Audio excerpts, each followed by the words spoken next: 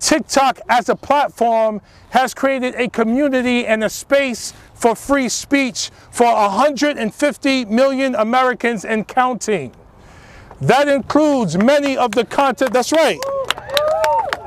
That includes many of the content creators that I just met with in my office. They talk about, they talk to me about a sense of family. They talk to me about a sense of community. They talk to me about a place that is helpful to their mental health and to their sense of belonging and well-being. They talk to me about finding a place where they can communicate with others like them and learn to love themselves even further. And I so appreciate them being that honest and vulnerable with me in terms of how they engage with TikTok.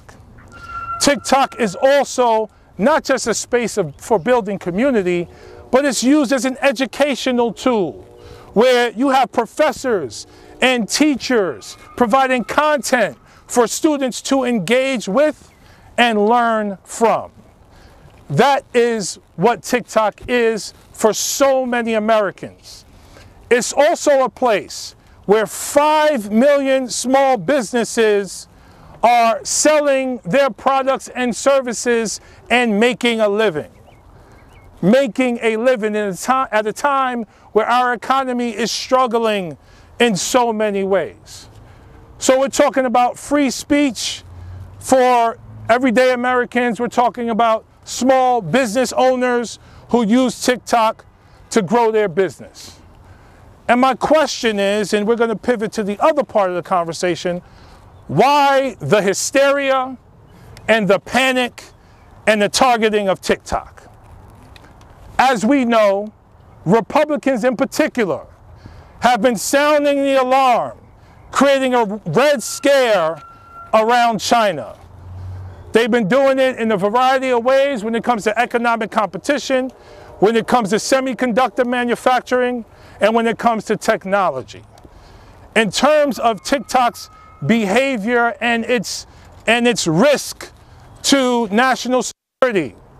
It poses about the same threat that like Facebook and Instagram and YouTube and Twitter pose.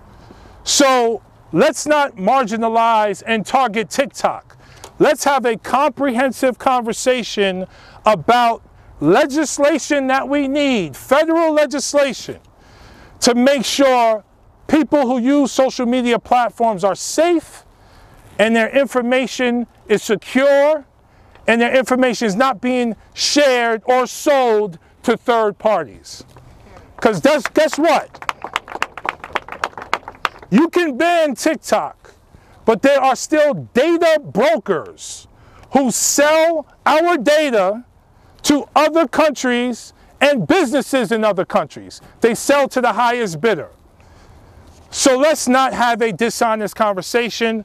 Let's not be racist towards China and express our xenophobia when it comes to TikTok because American companies have done tremendous harm to American people. Facebook looked the other way and allowed Russia to interfere with our 2016 election. This is a fact. This is well documented. I didn't hear any member of Congress talk about banning Facebook for doing this. Facebook, Twitter, and uh, Instagram and other platforms have allowed lies and misinformation to live on their platforms, even though that information may have been harmful to others. From the January 6th attack to the genocide in Myanmar, American social media companies have been used to facilitate harm in tremendous ways. So let's talk about federal legislation to ensure the safety and security of everyone who uses social media. And part of that is related to banning data brokers and stopping them for selling our data to the highest bidder. Let's have that conversation. Let's have the conversation, by the way, Let's have the conversation around how many people who sign on to social media, media aren't even aware of what happens to their data as they sign up. Let's have the conversation about that. Allow people the option to opt out of having their data be shared with third, third parties and corporations and governments that use their data for God knows what. I mean, we've allowed facial recognition software to be sold to hostile governments around the world. Let's have an honest global conversation. This is not just about TikTok. This is about social media. Let's talk about social media monopolies and breaking up big tech. There was bipartisan legislation introduced last Congress that did not move at all. Obviously, we want to talk about some of the addictive nature of these algorithms. Let's have a broader, more honest conversation about social media and let's not scapegoat TikTok because they happen to be owned by a Chinese uh, organization in this time of heightened xenophobia since COVID. Let's have honest conversation.